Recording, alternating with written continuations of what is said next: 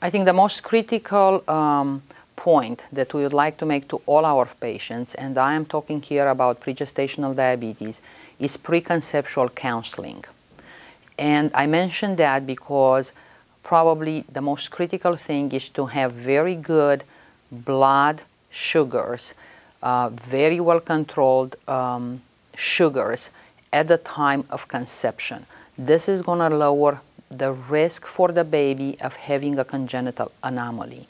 Uh, it is also critical for all pregnant women and uh, even more so uh, for uh, pregestational diabetic women to take folic acid, uh, which will first, uh, further decrease their chance of having a baby with a neural tube defect. Congenital abnormalities that I'm talking about are mainly cardiac, that means heart um, abnormalities, neural tube defect, that would be your central nervous system defects, and um, also abnormalities of your um, gastrointestinal tract, and also abnormalities of the kidneys in the baby.